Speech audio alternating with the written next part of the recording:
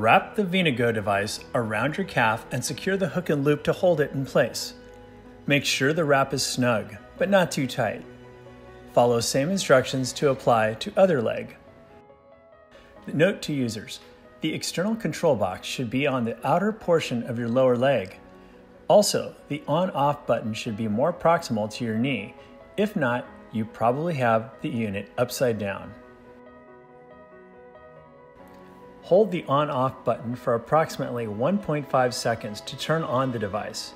The buzzer will sound once the device is powered on. The digital display shows the accumulated working time for 2 seconds, and the green indicator under the on-off power button lights up. When the battery is low, the light indicator is changed to yellow. To turn the device off, press the on-off button approximately one and a half seconds for it to turn off. Remove the three hook and loop tabs from each device. It is recommended to turn the device off prior to removing the device from the legs.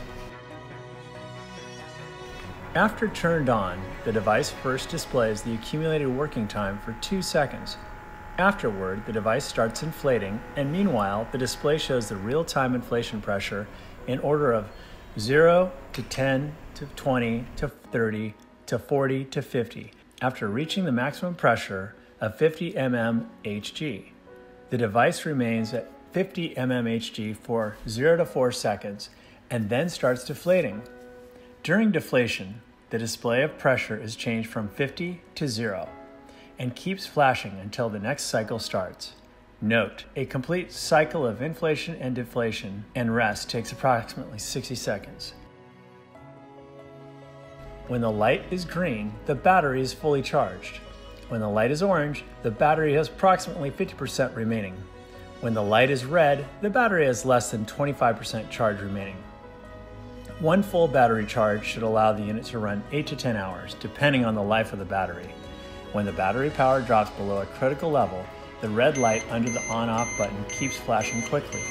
Meanwhile, the device stops working. The digital display shows LO and the buzzer keeps beeping for 10 seconds. Unless the device is connected to the charger within 10 seconds, the device turns off automatically.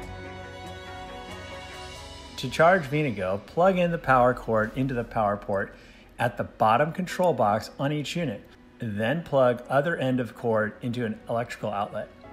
The device will be charging when the green battery light is flashing.